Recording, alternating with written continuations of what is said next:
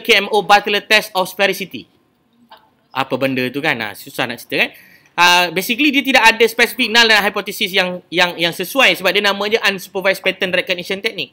So kita hanya nak tengok daripada enam variable yang kita ada ni, numerical variable, sejauh mana dia behave ataupun dia uh, ber, ber, berkumpulan menjadi variable yang lebih bermakna.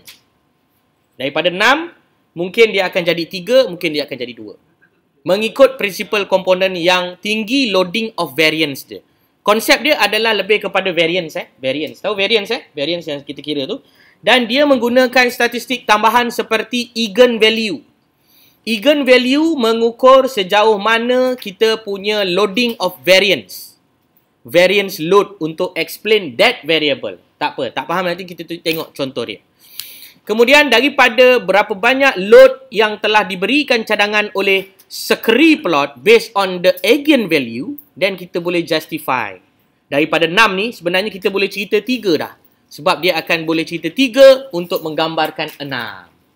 Faham kan? Okay. So, cara dia, awak akan pergi kepada analyze, awak akan pergi kepada dimension reduction dan pergi kepada factor. Ini dipanggil PCA lah, Principal Component Analysis or factor analysis. So apa jadi? Kita akan ada variable, betul tak? Masukkan variable-variable berkenaan.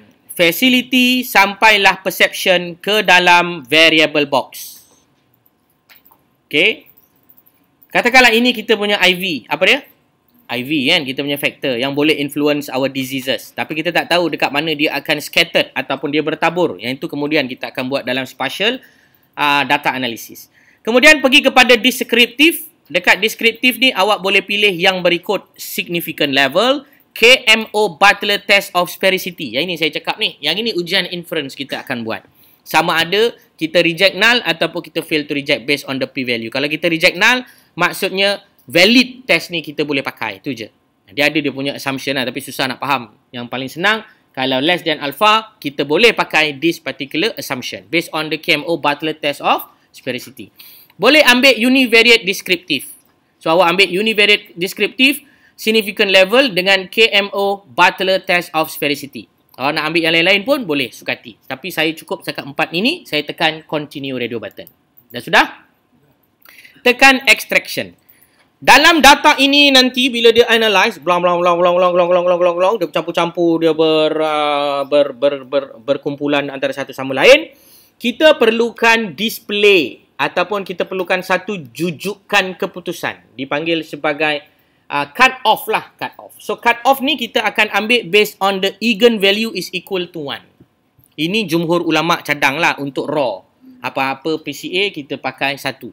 Kalau anda dah ada dalam literature kata eigen value sama dengan 2 dan 3 anda boleh pakai. Proceed tak ada masalah. Saya pakai satu dan saya klikkan satu benda utama namanya scree plot Scree plot akan membantu anda membuat justifikasi daripada enam variable ni, dia boleh turun jadi berapa variable berdasarkan eigen value. Eigen value mesti lebih daripada satu. Baru dia boleh jadi satu group. Okay. Tekan continue. Kemudian rotation. Data ni, bila dia analyze kejap lagi, dia akan bergombolan antara satu sama lain dan kita akan tengok dia dari segi banyak dimension. Kita tak tengok daripada depan je. Kita akan putar ke belakang pula. Tengok anti-image. Ada ke tak ada? So, oleh itu kita akan pakai very max rotation. Ha, kita akan tengok dia rotate. Bila dia rotate macam mana? Bila dia tak rotate macam mana? So, kita akan tengok dimension dia after dia being rotated. Selepas dia dipusingkan. Tekan continue. Tekan scores. Scores ini adalah sangat penting kalau anda nak menghasilkan sesuatu index. Apa dia? Index. Dalam case ni, saya tekan save as variable. So dia automatic pilih regression. Awak boleh pilih Bartlett, awak boleh pilih Anderson Rubin. Tapi as default saya suka pakai regression ni. So regression ni nanti katakan lepas ni daripada 6 faktor dia kurang jadi 2. So akan ada dua faktor yang baru akan di-create oleh SPSS secara auto automatic dia bagi. Faham eh? Okay. Kemudian awak tekan continue.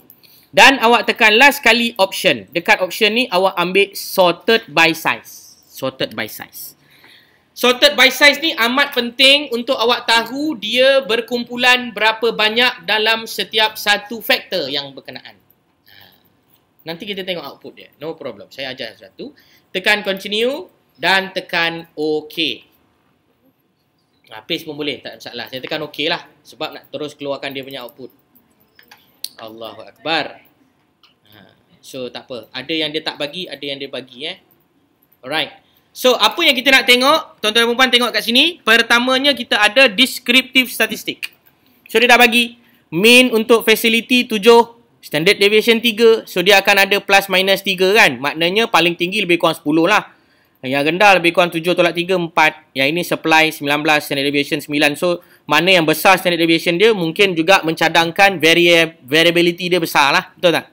Tinggi standard deviation, tinggi variability. Kemudian dia tak boleh nak kira correlation matrix maybe because of the data is auto correlated ataupun the data is uh, similarity dia tak cantik lah.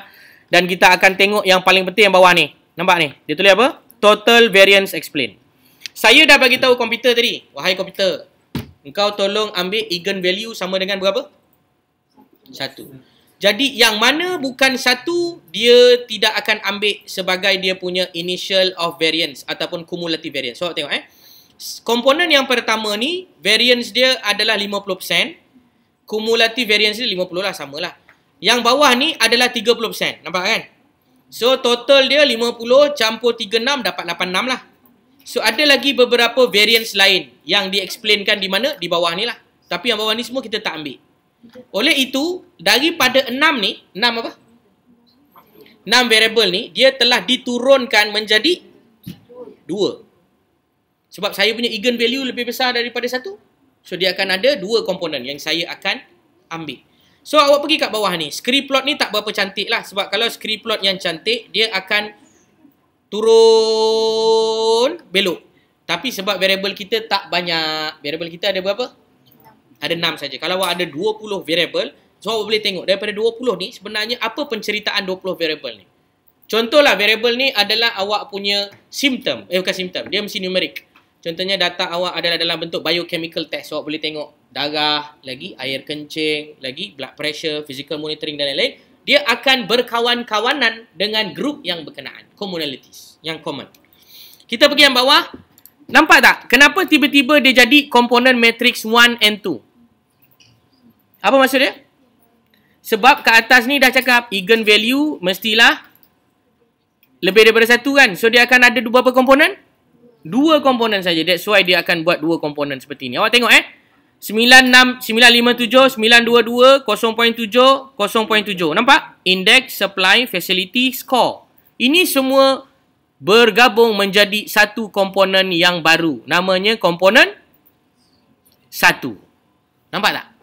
So, pergi yang bawah. Namanya perception dengan resource. Jadi, perception orang dengan resource ni dia bergabung menjadi satu komponen yang kedua. kedua. Ini pada komponen matrix yang asas. Tapi kalau kita pergi kepada bawah, dia ada rotated yang telah berpusing. So selepas kita pusingkan dia, barulah kita nampak yang lebih benar. Index, supply dengan facilities. Dan kita tengok yang nombor dua adalah perception, score dengan resource.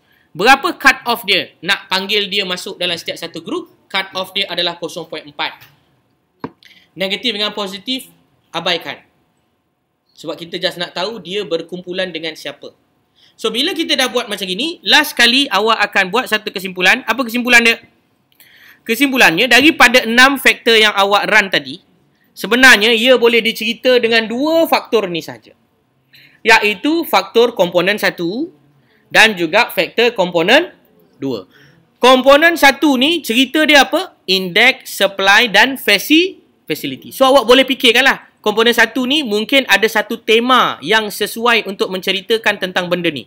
Mungkinlah saya boleh bayangkan benda ni adalah lebih kepada maksud logistik. Contoh, betul tak? Supply, facility. So dia lebih kepada kemudahan lah. Ataupun kita punya senang cerita preparations of the jabatan untuk mengalami wabak contoh eh. Ha, ini dia punya komponen yang pertama, faktor yang pertama.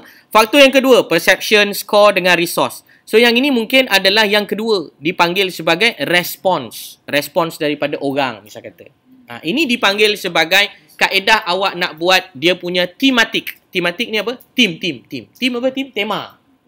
Daripada enam ni, ha, ni dia punya dua penceritaan utama. cakap awak nak buat tema tak buat tema terpulang. Tapi saya boleh cakap daripada enam cerita ni, cerita yang pertama ni mungkin menceritakan tentang berapa banyak jabatan punya pertolongan. Yang nombor dua pula adalah komponen macam mana orang punya pandangan terhadap jabatan punya pertolongan ni. Macam tu. Ha. Ini dah ada ni. 0.9, 0.9, 0.7. Kan tadi kita kata sorted by size.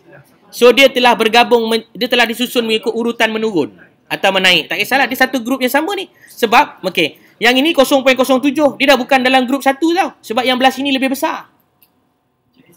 Ya. Yeah. Ha kan yang dua je kita buat kan. Okay. Satu dan dua. Komponen satu facility. Okay. Komponen dua supply. Tadi cikgu ada start ada tambah lagi satu tadi. Facilities pada rotated component ni awak tengok depan ni. Ha. Maksudnya begini, ini 0.9, 0.06. So mana yang lebih daripada 0.4? Yang ini kan? So dia dalam satu grup. Yang ini satu grup dengan yang ini. Yang ini satu grup dengan yang ini. Maknanya index supply dengan facility ini satu grup. Faham tak? Sebab dia mana lebih daripada 0.4 itu dia punya rule of thumb lah. Macam mana nak tahu dia ni satu kumpulan sebab dia lebih daripada 0.4 macam gini kan. Ini 0.07 dengan 0.9. Takkan 0.7 belong to komponen satu tak. 0.07 dia belong to komponen 2. Sebab 0. sebab nombor 2 ni komponen dia 0.9. Ini dua komponen. Kalau awak ada 20 dia jadi 4 tak apa. Komputer akan tunjuk nanti. Last kali awak akan nampak dia dalam bentuk tangga. Faham tak? Macam ni. Awak ini ada berapa komponen? Ada 6 telah diturunkan menjadi 2. Kalau awak ada 10 faktor, dia mungkin diturunkan kepada 3. So awak akan ada faktor yang macam ini nanti. Komponen 1, komponen 2, komponen 3. Dia akan jadi macam inilah. Ini daripada 1 sampai ke bawah. Ini daripada 1 sampai ke bawah. Ini sampai ke bawah. Dia akan susun lah. Sebab awak dah klik option tadi. Sorted by size. Susun ikut size. 2? Tak awak bukan relate kumpulan satu. Maknanya begini. Ini semua cerita kumpulan satu ni. Index supply facility kumpulan satu. Kalau awak run ni dalam DAS, dia ada tiga komponen. Kumpulan satu ni, awak tengok balik soalan. Soalan tu semua tanya pasal apa? Depression. Awak tengok balik komponen dua, soalan tu tanya pasal apa? Anxiety. Awak tengok balik kumpulan tiga, soalan tu tanya pasal apa? Stress. Faham? Maksudnya kalau contoh macam ada macam DAS soalan tu dia independent satu-satu tapi daripada banyak 21 soalan itu dia kategorikan kepada tiga. Betul. Melalui PCA ni Betul. Yang rotated component. Rotated tu dan ditukarkan lah. Sebab yang tadi kan kita tengok dua je. Eh tadi kan kita tengok ada. Yang tadi kan kita tengok macam ni. Tengok yang atas. Yang ini, yang ini, yang ini, yang ini. Betul. Ada empat ada empat item untuk menceritakan komponen satu. Ini belum rotate lagi. Tapi bila dah rotate, sebenarnya tiga-tiga. Ambil rotated lah. Yang dah berpusing. Sebab yang rotate tu lebih representatif. Yang telah ditengok daripada bahagian depan dan bahagian belakang. Tadi kan ayat-ayat kita tengok 0.07 tu. Ni macam ni. Okay. Ini dengan ini, supply ni belong kepada grup mana? Sebab? Sebab dia lebih daripada 0.4. Ah itu je nak cerita. 2. Sebab kita dah tekan option sorted by size. Kalau awak tak tekan, okay. Kalau awak tak tekan eh, okay tak apa. Katakanlah awak buat benda yang sama. Jangan buat eh, ni tengok je. Katakan eh, saya tak tekan yang ini. Saya tak tekan yang ini. Okay, apa jadi eh? Tengok. Dia akan bagi benda yang sama. Tapi saya tak suruh sorted by size. So, saya kena buat manually. Mana kumpulan satu? Ni, ni, ni. Mana kumpulan dua? Saya kena buat manually. Yang ni, yang ni, yang ni. Saya kena buat manually. Nampak tak? Sebab dia tak disusun mengikut size.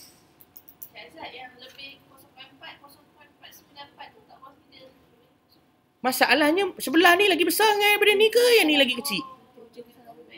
Correct. So dia belong to mana? Ya. Yeah. Mana paling besar itu belong to that group. Ha. Faham dah. Tak apa sebab saya nak faham tu 3 tahun. Awak faham berapa minit je tak apalah. Fair lah tu. Okay, soalan lain? Saya ada orang tanya.